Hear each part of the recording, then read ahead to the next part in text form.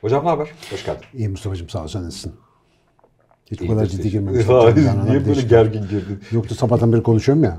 Mesela bu kıyafeti hatırlayacaksınız. Hatırlayacaksın. Soru yorumlardan. Aynı gün evet soruyorum bir süre sonra üstüne Can Canan ama Can Canan'ı rahatlamak için çekiyoruz şimdi Allah için. O Beni zaman gevşeten bir seni, seni dinlendiren bir muhabbetle beraber başlayayım. Kültürel evrim hikayesini e, ana kritik yapı taşlarına baktığında işte anlam arayışı hikayeler önemli yapı taşlarından bir tanesi gibi görünüyor. Bunun da özünde hikayelerin de arka tarafında kavramlar. E, Yalın Alpay da üzerine çok önemser ve durur. O hani tek tek kavramların kendisinin doğru şekilde anlaşılması. Onlar bizim tuğlalarımız oluyor. O tuğladan bir ev yapıyor. Evi de büyüte büyüte ana hikayelerimizi, hayatımızı yaşadığımız, yönlendirdiğimiz anlamlarımızı oluşturuyor. Şimdi bu kavramlardan bazıları gerçekten kritik öneme sahip oluyor. Mesela şu sahip olma fikri acayip kritik öneme sahip evrimlerden bir tanesi. Yani kültürel olarak biz bir şeye sahip olabileceğimizi zannettiğimiz, bunu böyle atadığımız, hani karar verdiğimiz, bu ağaç benim, ben buna sahibim, bu toprak benim falan dediğimizde mesela tüm hayatımız değişti, değişik bir şekilde. E, bunun gibi kültürleri, ülkeleri, toplumları, milletleri yöneten bazı yöntemler var. Kelimeler, kavramlar ve yöntemler düşünürken kullandığımız. Bunlardan bir tanesi şu eleştirel düşünebilme kabiliyeti. Bu eleştirel düşünebilme kabiliyetinin Türkiye'de bizim tarafımızdan hiç anlaşılmadığını zannediyorum. E, Twitter bunu çok iyi örneklerden bir tanesi. tamam? Yani bir şeye eleştirel bakabilme aslında e, uzlaşmadığımız bir konuya rağmen uzlaşarak bir şey yapabilme gibi kavramsal olarak arka tarafta başka bir şeyi daha barındırıyor içerisinde. Her konuda uzlaşmak zorunda değiliz ve bu sadece basit bir şekilde ben bir hata gördüm ve bunu sana söylüyorum durumu da değil. Bambaşka bir kültür barındırıyor kendi içinde. Biraz için bireyselleşmeyle de alakalı falan falan. Doğası gereği ben sana seni kalbini kırmadan, senin statülerini zedelemeden, işte senin hayattaki duruşunla alakalı sana özel bir baskı uygulamadan seninle alakalı uzlaşmadığım şeyimi, e, bana farklı ya da değişik gelen şeyimi sana ifade edebilme halinin kendisiymiş gibi görünüyor. Bu eleştirel düşünmeyi, biraz düşünme yöntemleri hikayesine girelim gerçekten. Şu eleştirel düşünmeyi Ki çok biraz lazım. beraber biraz genişletelim uçlarından tutarak. Zaten bunu çekiştirmemiştik bildiğim Hiç kadar. üzerinde durmadık Eleştirel, kadar. stratejik, analitik, kritik falan diyoruz. İşte kritik, eleştirel aynı. Girmeden biraz önce söylediğin konu çok enteresan. İki gün önce biz hep konuşuyoruz ya aramızda. Daha önce şey e, Can Canan'da da konuştuk. Sahip olma falan hikayesi arasında. Bakayım dedim etimolojisine. Şimdi aslında bu e, tam da bugün konuştuğumuz konuyla alakalı. Self kritik ediyorum. Ne diyorum? Yani sen bu kelimenin anlamını biliyor musun aga? Birazdan işte kendimi eleştirmekle alakalı kısmı azıcık açarım. Sahip kelimesinin etimolojisine baktım. İşte bu Arapça kökenden geliyor yine. Bizim bu işte İslam tarihinde bildiğimiz sahabe falan da aynı kökenden geliyor. Yoldaş demek aslında. Şimdi sahip ana başat anlamı beraber seyahat ettiğin, bir süre beraber olduğun, yolda birlikte gittiğin anlamına geliyor. Güzelmiş, evet. Arapçada bizim sahip dediğimiz kelimenin karşılığı malik. Yani mülk sahibi olma, malik olma. Ve malikle de hükümranlık aynı anlama geliyor. Ve Arapçada hükümdarla maliğin farkı yok. Arapçada bu iki kelimeyi ayıramıyorsun. Yani malik dediğin zaman aynı zamanda hükümdar anlamına geliyor. Yani bir şeye ancak hükümdarsan sahip olabiliyorsun. Mülk ancak o zaman senin olabiliyor. Enteresan bir tarihsel kırılmayla biz mülk kullanmıyoruz, sahiplik kullanıyoruz. Ve böyle baktığında aslında her şeye sadece sahipsin. yani bir süre gidiyorsun ama malik değilsin. Böyle bir durum varmış. Mesela şimdi tam bu sahip olma meselesinden kuantum sıçraması yapayım senin getirdiğin yer. Şimdi eleştirme, eleştirel düşünme hemen hemen her yerde duyuyorsun falan. İlginçtir okullarda doğru dürüst öğretilmez ama hep böyle bir erdem olarak. Eleştirel düşünme önemlidir falan. Gene etimoloji abi. Hayat kurtaran bir şey. Nereden çevirmişiz biz bunu? Kritik. Critical thinking diye geçiyor ya. Bakıyorsun kritik kelimesinin kökenine gene işte Yunanca zannediyorum. Krik, kriktein mi, krikein mi öyle bir tane kelimeden geliyor. Farkını fark etmek, ayırt etmek, yargı koymak gibi anlamları var bunun. Şimdi bir şeydeki eksiği görebilmek, o eksiği tamamlamak, o eksikle ilgili onun varlığına dair yargı koymakla alakalı bir durum. Şimdi eleştirel düşünme bizde mesela eleştirme hakaret gibi algılanabiliyor. Biz mesela eleştiriyi çok kaldırabilen tipler değiliz. Bunun temel nedenlerinden bir tanesi eleştirinin nasıl yapıldığını bilmediğimiz gibi yapılan şeyin eleştiri olup olmadığını da ayırt edebilecek bir kavramsal çözünürlüğe sahip değiliz. Çünkü öğrenmemişiz böyle bir şey. Yani kelime olarak da, kavram olarak da, yöntem olarak da hayatımıza girmemiş. Mesela biz seninle bir toplantı yapıyoruz ki can canlanlarda da bunu çok yapıyoruz aslında ama diyelim açık evet. beyinle ilgili bir şey işte ben diyorum ki eğitimde şöyle bir şey yapsak. Sen diyorsun ki bence öyle olmaması lazım. Çünkü şöyle şöyle şöyle bir şey olması lazım. Şimdi aslında bakarsan bana direkt dalıyorsun sen yani. Şimdi bizim oraların jargonunda bu baba falan değil mi? Halbuki sen orada ne yapıyorsun? Benim düşüncem içerisindeki bir açığı buluyorsun. Ben orayı zira zıplamışım, orayı düşünmemişim. Diyorsun ki bak baba burada bir, bir şey var. Burayı düşünelim diyorsun. Beni oraya odaklıyorsun. Ve aslında benim düşünce zincirimi tamamlamam için bana eksik yeri gösteriyorsun. Şimdi mesela film eleştirisi. Şimdi bu kıstasa uyan kaç tane film eleştirisi okuduğunuza bakayım. Berbat film, bok gibi hiç beğenmedim falan tamam mı? Şimdi bu eleştiri değil.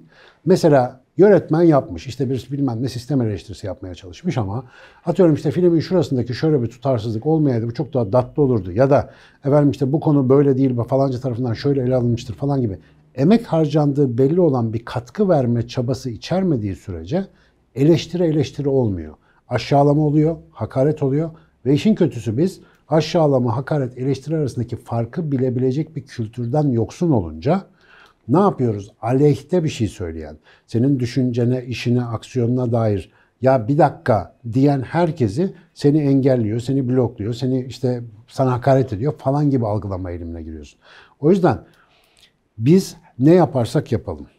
Ee, insanın fabrikalarının üçüncü maddesinde uzun uzun sündürmeye çalıştığım gibi bir kafayla yapabileceğimizin sınırı var. Becerebileceğimizin sınırı var. Bizi süper organizma yapan şey bizim gibi diğer insanların yaptığımız işi olabildiğince dahil olması, onun bizim iyi tutamadığımız yerlerinden onlarla beraber tutabilmemiz ve böylece işte koca ne bileyim bir e, katedrali, bir camiyi ayağa kaldırabilmemiz, bir, bir eser yaratabilmemiz.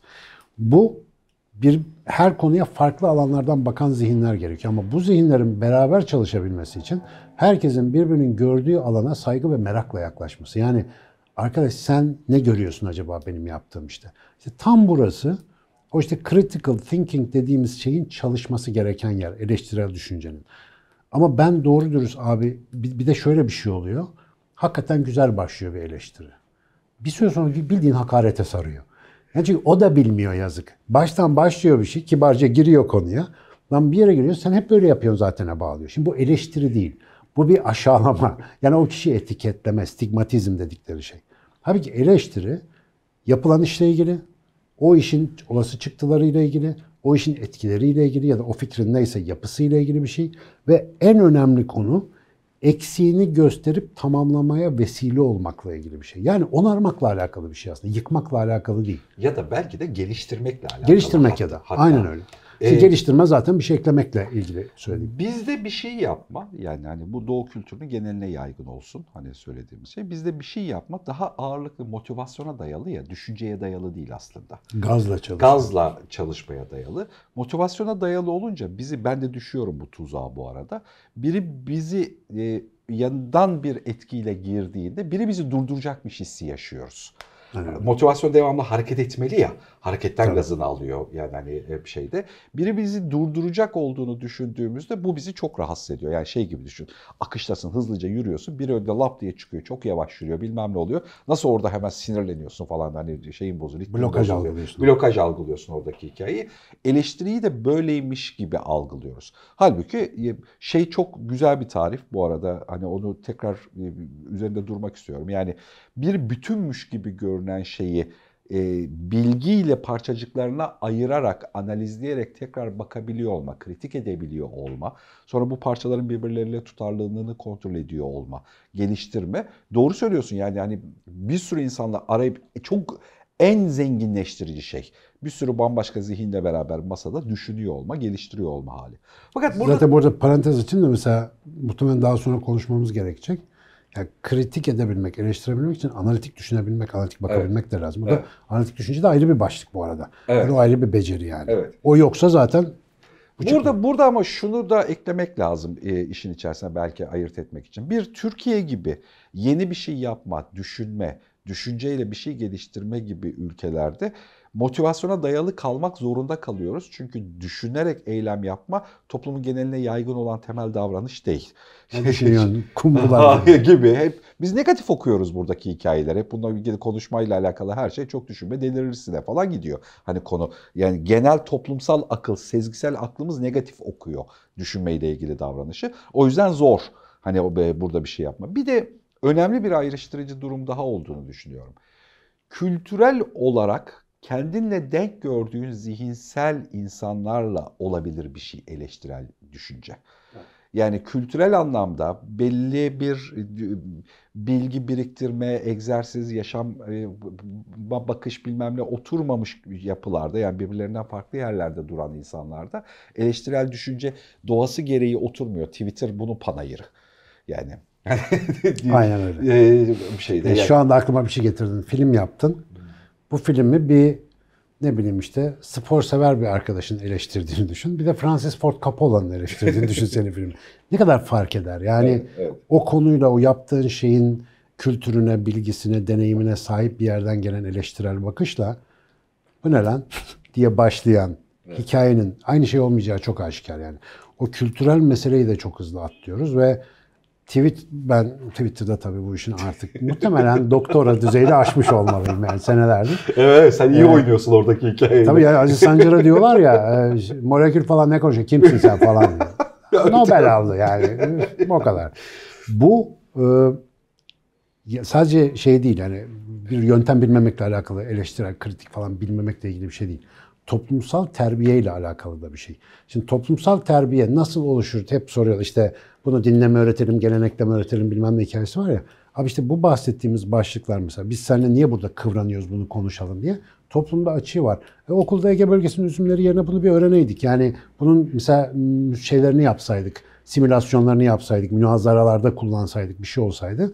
E, bunu öğrenemediğimiz için işte eleştiriyle aşağılama her şeyi karıştırıyoruz. gerekiyor hocam Tabii onun için ama Tabii. yani okul bilişsel anlamda bir gelişim için Yok. çok uygun bir alan ya da yapı değil. Bu arada az önce ister istemez söylerken mesela kültürel denklik gerekiyor derken orayı hafif bir e, Gayya kuyusu oluşturmuş oldum. Yani. Tabii ki orada biraz Çünkü orası açmak. çok evet orası evet. çok muamma barındırabilir. Sen mi beni için. eleştireceksin e, Aha gibi bir, bir, bir kötü bir aristokrasi de barındırdığı içinde bir de hani çok kolay bir komplo teorisine dönebilir bir şey oldu yani. Hani kimler kimlere neyler neylere falan mevzusu. Burada seçki tahmin ediyorum e, kişinin kendisi üzerinden yapılması gereken bir seçki yani. Kendisinin seçtiği fanusla eleştiriye açık olma. Çünkü ya bizim aslında bu sohbeti konuşmamızın zemininde gerçekten bu var. Eleştiriye çok ihtiyacımız var. Yani bu şey gibi değil yani gayet analitik düşünen ben bir sürü gelen yorumda akıllıca olan her yorumu gerçekten cebe alıyorum. Yani bununla alakalı hiç kim yani Orada işte akıllıcasının ne olduğunu benim benim anlayabildiğim seviyede bazılarını sen anlayamayabiliyorsun. Adam doğru bir şey söylemiş olabilir ama sen fark edebiliyorsun. Bazıları da kültürel anlamda hiç konuşulur seviyede değil yani. Hani sakız çiğnerse oruç bozulur muya gidiyor. Yani hani konunun kendisi sohbeti oradan geliyor. Başka bir ihtiyacı var e, bir şeyde. Bu ihtiyacı bilip ama bu havuzu işte bu bunu kimlerle beraber eleştireceğiz, nasıl bakacağız e, havuzunu galiba bizim kurmamız gerekiyor. Bir şey düşünürken ya da yaparken. Bugün bir soruyorum bölümü çektik işte. Ee, unuttuğumuz cinsel tanımlarla ilgili. Şimdi onu çekmemize vesile olan 15 yaşında bir genç arkadaşımız. Bizim bir videomuzu izliyor. Annesi bizim takipçimiz. Kendisi de bizi takip ediyormuş. Zira bize bir sesli mesaj göndermiş. O mesajı bana ilettiler. Sesli mesajında tam bir adam gibi ayakları yere basan, eli yüzü düzgün, şimdi adam gibi dedim diye yardırmayın yani insana yakışır anlamında kullanıyorum. Derli toplu bir eleştiri yapmış. Hem de hassas olduğu belli olan bir konuda. Çünkü biraz yüksek tonda konuşuyor. Diyor ki ya tamam diyor video çekmişler ama diyor şu kavramları birbirine karıştırmışlar falan filan diye bayağı bildiğin söz kaydı böyle nalına mıhına ve bize yeni video çektirtirdi mesela. Ne yaptı? Gerçekten unuttuğumuz bir şeyi hatırlattı ve sonunda da diyor ki Biliyorum ben de bu kanalı takip ediyorum. Muhtemelen iyi niyetle bir şey yapıyorlar. Ama burası karışırsa şöyle problem çıkar diye eksiğimizi işaret ediyor. Ve tam bir eleştirel düşünce ikramı sunmuş bize. Bilmeden muhtemelen. Şimdi bu bir sürü yerden okunabilir. Mesela 15 yaşında bir insan açık beyni takip ediyorsa zaten bir problemi vardır. Yani problem vardır derken toplumda belli bir endişe dizisine sahip insanlar arasındadır bir şeyleri merak ediyordur. Ona göre bir iç hazırlığı vardır. Ve o üslup bir şekilde oradan neşet ediyor zaten. Şimdi sen biraz önce işte düzeylerle alakalı bir şey söyledin ya yani kim kim eleştirebilir. Mesela bir profesör bir şey söylediğinde, bir bilgi verdiğinde sana, o konuda hiç bilgi sahibi olmayan bir insan olarak nereden bileceğiz doğru söylediğini demek eşekliktir, çift şeyli. Ama bir profesör bir şey söylediğinde, sen hiçbir akademik titri olmayan bir şey, beyefendi bu tarzınız hoş değil diyebilme şansına sahipsin. Çünkü iletişim hepimizin aynı düzeyde hakim olması gereken bir konu. Ama teknik bir bilgiyle ilgili eleştiri yaptığını zanneden herkes hakaret ediyor. Çünkü karşıdaki insanın işte kredibilitesinin güven güvenilirliğini, konudaki yetkinliğini, bilgisini tamamen sorgulamış oluyor bir şekilde. Bu ayrılması gereken bir konu. Neyin üzerine eleştiri yaptığın, eleştiri konusu olarak neyi aldığınla çok alakalı. Birisi bana çıkıp dese ki, hocam konuşma tarzın hoşuma gitmiyor. Bu son derece ciddi almam gereken bir şey. En azından o kişi özelinde. Niye hoşuna gitmiyor? Neden rahatsız oluyor? Ama diyorsa ki siz açık da şu konuyu ele aldınız sizden tiksiniyorum falan. Güle güle. Yani bu bir eleştiri falan değil. Bu senin çikolata sevmemenle alakalı bir şey yani. Kişisel tadın. O bizi bağlamıyor. Daha da aslında hani bizim tarafta okunduğunda bir şeyden korkuyorsun. Korktuğun şey bizle alakalı değil. Aynen öyle. Yani o bizde bir sembol bir şeyden korkuyorsun. Yani bir şeyi denetlemekle ilgili sıkıntı çekiyor. Mesela şu kararlar iyi. Bu içerikleri sevmiyorum. Üslubunuzu sevmiyorum. Yani hani bunlar Tamam. çok Beğenmedim çok normal. yani- Beğenmeyebilirsin. Yani beğenmemek kadar büyük bir özgürlük gerçekten yok. Ama bunu böyle yapman lazım. Mesela bir hoca bir öğrencisine bunu söyleyebilir. Bunu böyle yapman lazım. Çünkü ona yetkisi, deneyimi yeter yani. Ve bu öğrenci için nimettir. Çünkü öğrenci eksik yaptığı bir şeyi hocasının kritik etmesiyle, eleştirmesiyle öğrenir. Ama sen yani mevzu hakkında gerçekten bilgin ve deneyimin olmayan bir konuda o öyle yapsın, bu böyle yapsın. Kahvelerde ne yapıyoruz efendim biz? Hükümet şöyle yapsa yırttık biz. Ne var bu ekonomi trafiği çözemeyecek falan. Niye dünyanın bütün sorunlarını en veciz bir şekilde çözümüyle birlikte ifade edebilen insanlar berber ve taksici yani niye böyle? Yani niye onlar hep bu mesleklerde heder oluyorlar? Çünkü orada hiçbir sorumluluğu yok. Orada hiçbir analiz ihtiyacı yok. Bilgi biriktirmesine gerek yok. Konuşuyorsun gidiyor ve bu işte mesela sokak röportajı yapıyorlar. Tutuyorlar. Halk eleştiri. Ne yapıyorsun sen? Kime soruyorsun? Konuşan kim? O ka- karşı çıktığı şeyle ilgili nasıl bir kişisel deneyimi, nasıl bir akademik yetkinliği, ne derece okumuşluğu, nasıl bir bilgisi var? Şunu desen ki mesela dışarıdaki vatandaş hayat pahalılığından şikayet ediyor. Yüzde yüz dikkate alınması gereken bir şey. Fakat herhangi bir insan çıkıp da ekonomi bakanı hede hödö yaptı ya da Amerikan başkanı şu konuda yanlış yaptı. Ne yapıyorsunuz? Bu görüş alınabilecek bir şey değil. Şimdi bilgi alma ve bilgi aktarma kanalları da bilmediği zaman eleştiri nedir, aşağılama nedir, dalga geçme nedir, espri nedir, mizah nedir bunu ayırt edemediklerinde ortalık cadı kazanına dönüyor. Sonra da ne oluyor işte? Bak bu tanımları kaybede kaybede biz nereye geliyoruz? Post-truth. Her sesi yüksek çıkana inandığımız, gerçeğin ne olduğunu öneminin kaybolduğu bir zamana geliyoruz artık. hiçbir zaman ürünle ilgili, düşünülen şeyle ilgili konuşamadığımız, hep o ürünü ya da düşünülen şeye sahip olduğunu zannettiğimiz insanla ilgili konuştuğumuz, yani fikrinle alakalı, bilgisiyle alakalı değil de kişinin kendisiyle alakalı konuştuğumuz başka bir evreye varıyorsun. Ya burada sorun şununla alakalı. Ee, birçok şey üretmeye ihtiyacımız var ve üretme ürünle ilgili, düşünceyle ilgili, açık fikirlilikle alakalı teknoloji geliştirebilmek için gerekli bir sürü yolu, yöntemi var ve bunlar bir ürüne dönüşmek zorunda. Bunlar bazen masalar, sandalyeler, elektronik cihazlar, bazen de içerikler, bilgiler, nitelikli düşünülmüş e, bilgi yumakları hikayesi. Bu ürünü düzgün hale getirebilmemiz için hep birlikte çalışma organizasyonlar, düşünsel anlamda buna uyumlu bir yönteme ihtiyacımız var ve eleştirel düşünme bu yöntemlerden bir tanesi, önemlilerden bir tanesi. Bunu çözmediğimizde burayı çözemeyeceğiz. Tek başımıza olmuyor. Hep şey mesela bugünlerde buna çok sık rastlıyorum yani. Hani, e, abi aklımda bir fikir var ben kitabı yazacağım. E, bir, bir iki ay ver bana ben iki ayda o kitabı ya o kadar komik ki hani şeyde anlatamıyorum. Ya arkadaşım ortalama bir kitap yazma. Bir yıl nedeni var. O kitabı yazabilmen için en az üç kişiye ihtiyacım var. Bilgiler açısından da değil bu arada. Sadece teknik tarafı için en az üç kişiye ihtiyacım var. Bir de içindeki bilgilerle alakalı birileriyle konuşman, düşünmen, araştırman, sohbet ediyor olman da gerekebilir arka tarafta durumuna göre, pozisyonuna göre. Ee, şeyi de hatırlatmakta fayda var. Muhtemelen bizi izleyen genç arkadaşlar Tam diyorsunuz da böyle eleştirel düşünce ne? Yani nasıl yapılır?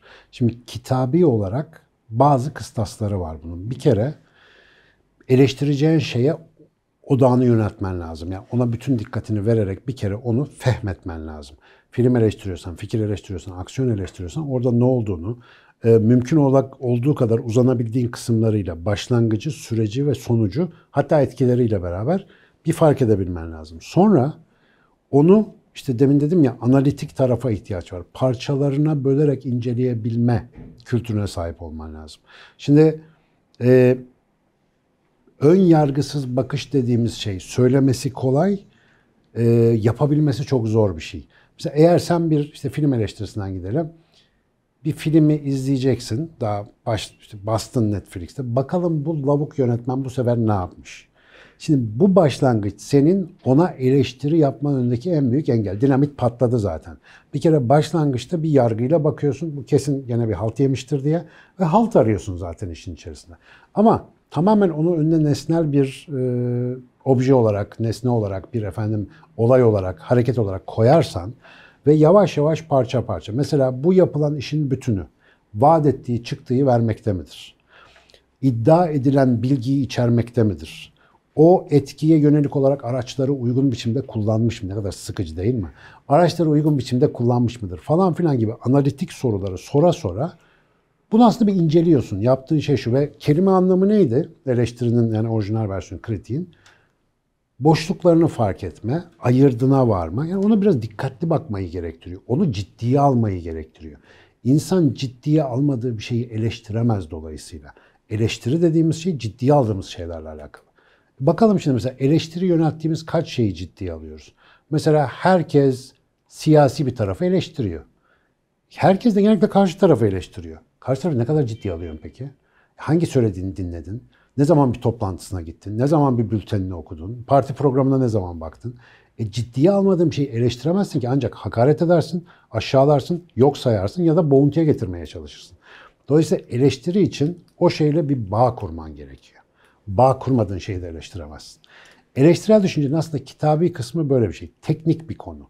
Ve hayatımızda yaptığımız her şeyde buna ihtiyacımız var. Ben mesela Açık Beyin'de bayılıyorum yorumları okumaya. Bu arada sizin yaptığınız yorumların hemen hemen hepsini biz okuyoruz. Obsesif bir şekilde. Arada bazen yorumlar oluyor. Mesela diyor ki video için teşekkür ederim. Ama ve lakin. Aha dur çekil. Röpte şambırımı getir. Yorum var. Bakıyorsun abi uzun uzun bazen bir paragraf bazen iki üç paragraf. Bunu böyle demişsiniz ama şu şöyle bu böyle bak bu konuyu atlamışsınız bilmem ne falan gibi. 3-5 tane böyle yoruma denk geldim. Not alıyorum abi ben o yorumları. Sonra bir yerde soruyorum da orada burada yaptığımız programlarda şurada masaya getirip konuşuyoruz ve bizi geliştiriyor. İşte eleştiri böyle bir şey. Arkadaş bizi ciddiye almış. Ekşi Sözlük'te benim 54 sayfa girdim var. 3 tane beni ciddiye alan girdi var. Üçüne de video çektim. 3 tane girdi var. Bir tanesi uzun uzun hem de bayağı ağır yazmış. Geldiği mahalleyi terk edemiyor falan filan diye başlamış. Ulan dedim bu da giydiriyor. Aa sonra aşağıda baktım bayağı analitik bir şekilde adam beni incelemiş, dinlemiş. Teşekkür ettim. Kendisine mail yazdım. Hatta canlı yayına davet ettim. Dedi ki ben burada Nick'le yazıyorum. Gelemem canlı yayına. Türkiye'nin genel şeyi maalesef. Canlı yayına çıkamadık ama mesela ona ayrıca bir şey videosu çekeceğim. Ayrıca bir işte bizim kanalı inşallah açınca. Sinan Can'da Evet, evet Sinan Can'a gidince ona çekeceğim. Eleştiri beni besliyor. Eleştiri bizi besler. Çünkü eleştiri gerçek eleştiri ise beni ciddiye alır. Ee, beni nesnel bir sorun olarak geliştirilmesi gereken bir şey olarak olur. Yani dolayısıyla ayırmayı öğrendiğimiz anda cennete doğru adım atabileceğimiz bir mesele aslında. Çok mühim. Ee, hiç muhtemelen kimsenin benim yorumumu okumayacağı bir yer olan International Movie Database'e 3-4 tane film hakkında bayağı zaman ayırıp İngilizce ki o zaman İngilizcem biraz daha kırıktı bugünküne göre. Oturup hötür hötür hötür yorum yazdım hatırlıyorum. Biri galiba Braveheart'tı. Kaç kişi okudu, kaç kişi yaptı bilmiyorum ama Braveheart'ı ben çok sevdim. Keşke dedim.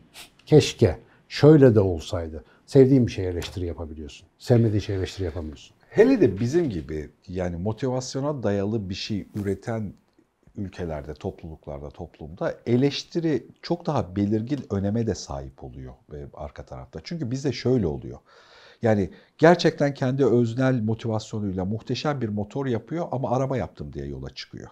Ama diyorsun ki abi 3 lastik var. tamam yani hani Onu veren Allah dördüncü de yani, ama yani hani motor muhteşem. Gerçekten muhteşem. Abanmış özel bir şey yapmış şeyin içerisinde. Ama araba yapma hevesiyle yola çıktığı için abi kapılar yok ya falan. Ya burada bunu göremiyoruz biz motivasyonla davrandığımız için. Bu bireysel olarak başıma geldiği için söylediğim bir şey yani hani bu duyguyla bir sürü açığını göremiyorsun. Bu uluslararası bir aranında pahalı bir şey. İyi eleştiri almak. Yani değeri açısından, önemi açısından gerçekten hani o bu masaya oturtmak, doğru analiz etmek, böyle bakıyor olmak. Senaryoları, tezleri böyle insanlara gönderiyorlar. Evet. Biz bilimsel makaleleri hakemlere gönderiyoruz ki eleştirsinler, Evet. geliştirelim. Hani olduğu gibi kabul edildiğinde ciddiye alınmamış hissediyoruz kendimizi yani. Şeyi e, şu son günlerde bir şey var ya, Diyanet mi ne küçük çocuklar din eğitimi alsın demiş. E, işte bir 4-6 yaş çocuklar için din eğitimi mevzusu geziyor ortada böyle bir şey. Zaten arada bir alevlenir böyle şeyler. günlerden. Ha. Yani ben sadece gene Twitter kaynaklı. Ben haber falan okumadığım için. Baktım trending topikler oluyor. Birileri yardırıyor falan. Ama hiç durup da aga bu nedir diye soran yok. Çünkü zaten herkesin söyleyeceği laf hazır.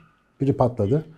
Herkesin söyleyeceği laf hazır. Cebine taşları doldurmuş. Atacak yer arıyor. Şimdi bir kurum, beğen beğenme, devletin bir kurumu bir şey yapıyor. Bunun karşısında yer alan birileri var. Aleyhte bir şeyler söylüyor. Peki biz normal insanlar ilk sormamız gereken soru ne? Baba ne oluyor burada? Hangi tarafa geçip taş atayım değil ilk sormamız gereken soru. Bizim temel problemimiz işte duygusal, temel nasıl diyelim o gazla çalışan sistemimiz. Gaz aldığımız bir yer bulunca oradan taş atıyoruz. Mesela bu çok iyi bir vesile olurdu ki oluyor da etrafta gerçekten otomatikman böyle eleştirel düşünme alışkanlığını edinmiş, okuduğu habere o gözle bakan insanlar. Mesela gündemlerine yeni bir konu giriyor. Hakikaten din eğitimi gerekli bir şey mi? Ya da gerekliyse ya da gereksizse hangi yaşlar, nasıl? Teknik olarak bunu nasıl yapmak lazım? Mesela bu kurum ya da bu itiraz edenler bu konuda bir şey söylüyorlar mı? Aa söylemiyor. Boş lan bunlar. Ben bu konuyu kendim çalışayım. Mesela bu konuyla ilgili bir tez yazayım. Aa falan. Büyük bir eksiği tamamlayabilecek olan şey böyle basit soruları sormaktan geçiyor. Ama çoğumuz yorgunuz. Hayat yorgunuyuz. Geçim derdi bilmem ne. Hazır da zaten gaz alabileceğimiz, kendimizi ifade edebileceğimiz, retweet yaptığımızda bizim retweetimizi işte atıyorum 20 ta- kişinin daha retweetlemesiyle kendimizi evde böyle ne bileyim korkmaz çakar gibi hissedebileceğimiz bir durum var ise eğer öbür zor tarafa hiç girmiyoruz. Bu konular vesile. Mesela gerçekten hakikaten bir bölümde konuşsak ya, din eğitimi gerekli bir şey mi diye. Çocuklara di- aynı şey geçiyordu kafamdan. Çocuklara Bak konuşalım bunu. Gerekli mi diye Yani konuşalım. sopa yeriz ama olsun. Ee, yani Sopayı ben yerim. Sana bir şey olmaz. Şöyle değil bir şey. Yani din eğitimi gerekli mi gereksiz mi konusunda tartışamıyorsan zaten aptalsındır demektir. Bitti. Yani yöntemin yok demek. Aptal derken zeka geriliği anlamında söylemiyorum. Aptallaştırılmışsın demektir.